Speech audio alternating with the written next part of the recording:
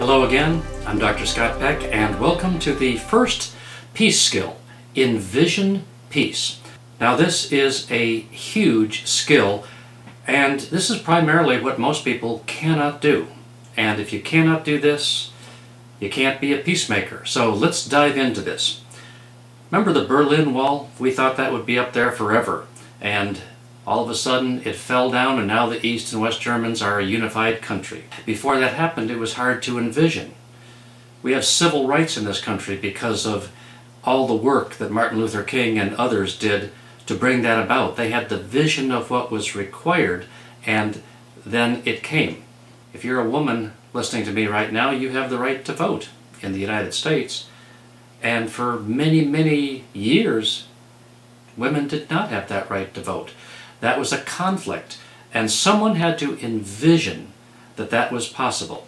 So the key to peace is to envision the solution even when you don't know how in the world you're going to get there. That's the secret. That's the first big secret of being a love master who's creating peace. So, for example, looking at conflict that might be within you.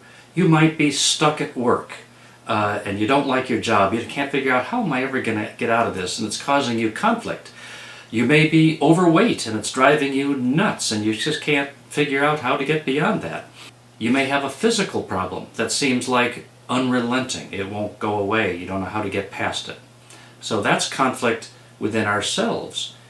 In the area of relationships, you may have a conflict right within your marriage or your with your daughter or son that seems unsolvable. You may have a relationship with another family member. Those are always big places for conflicts or with someone at work. In all of these cases, the secret that we need to just begin the process is to envision peace. So, let's go back to that being stuck in work. And let's just say that's me. I'm stuck, I feel like I'm stuck in work, or that's you. If we were envisioning peace, what would it look like?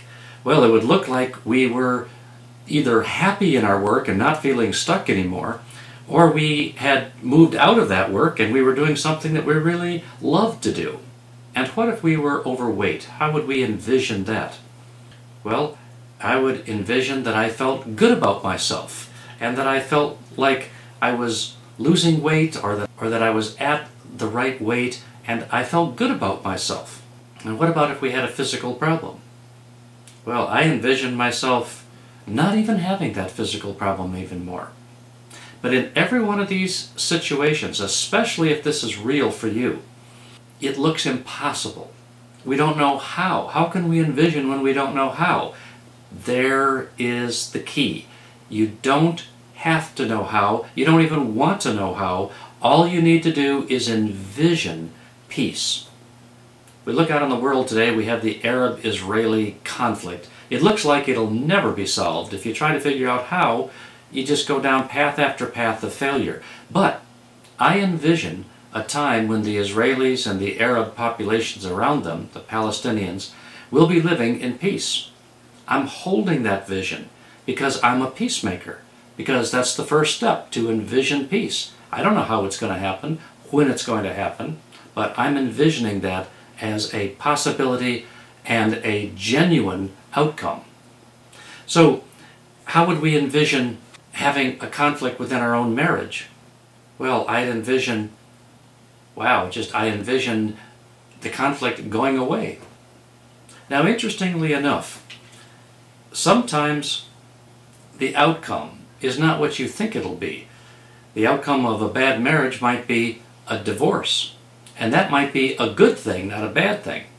Another outcome might be healing so that the, the conflict within the relationship disappears.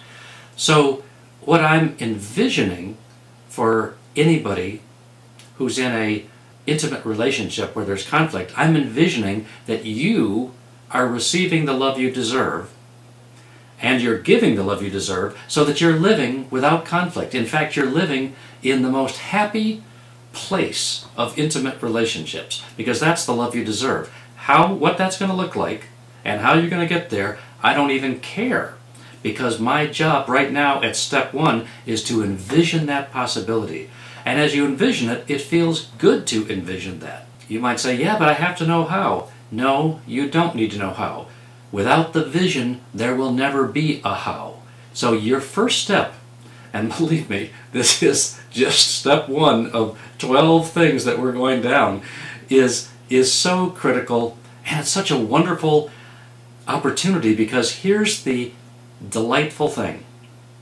To envision peace requires no one else. I could be in terrible conflict with you, and we might be angry at each other, or I might be very disheartened or unhappy in our relationship together. But I don't need to engage you and say, come on, will you join this peace process with me and will you envision peace with me? No, that's not the way it works because you're trying to do something there. This envisioning peace is all about what's going on secretly within your own heart, your own consciousness. So if you and I were having a struggle, the very best thing I could do was to personally and privately envision peace. That I'm thinking, you and I, our relationship's going to get better and better and better and flower into joy. Or perhaps our relationship's going to end. But either way, you're going to be happier, I'm going to be. I'm envisioning peace for myself at a very high level. So that's exciting to know that you don't have to be appointed a peacemaker and you don't need anybody's approval. This is why this is such a powerful first step. You're the one, and only you, that decides whether you want to take the first step towards peace. Most people frankly, can't get past this stage. So if you can't get to this stage of peace building, you might as well not even watch the rest of the videos because they won't do any good. This is absolutely critical, and I understand how hard it is. I understand it so well that I want to give you an assignment and ask you not to go on and look at the next video until you have taken several days to practice envisioning peace.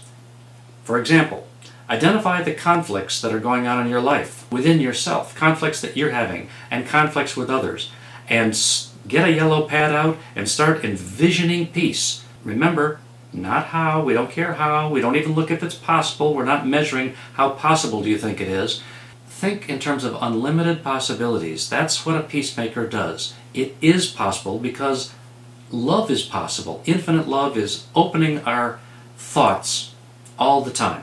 So practice this. And then as you go as you read the news, you'll see you'll read news about you know somebody hating somebody and this problem and this war and this conflict with or some divorce of a celebrity or you know or something going on in your life every time something comes up that's a conflict practice envisioning peace notice how good it feels in your heart that you can actually are thinking beyond the garbage that you're thinking beyond the conflict Someone has to do that, and that's you.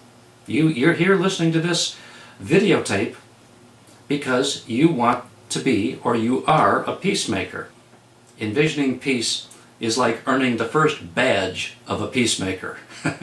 it's fun to do and it has just fabulous results. But everything else that I'm going to teach you, skill 2 through 12, are all outcomes of a process that begins when you envision peace. Without the envisioning, we can't get there. With the envisioning, we will always get there. Do you believe that? I do, and I've observed it happening over and over. So start envisioning peace, and then we'll go into the process of how you and I can make that happen uh, and facilitate that happening in your life privately and in our relationships and really on the world stage. So thank you, really, uh, a very profound thank you for your interest in either extending your talent as a peacemaker or learning for the first time how to be a peacemaker. Happy envisioning, fellow peacemaker.